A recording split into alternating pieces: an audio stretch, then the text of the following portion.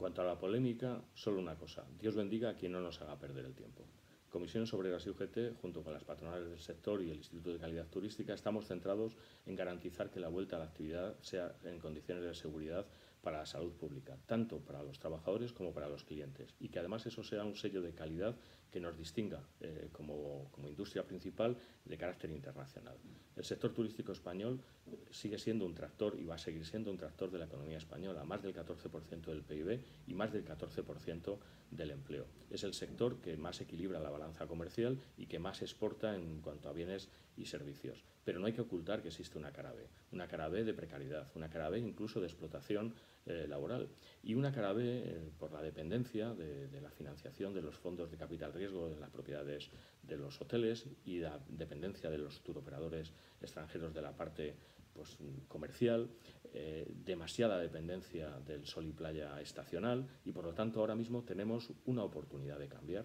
que este, esta crisis nos sirva como una especie de parada biológica y en el proceso de reconstrucción que el país va a necesitar pensemos en un turismo de mayor valor añadido, de mayor calidad, de mayor estabilidad en el empleo y de mayor estabilidad también para las empresas.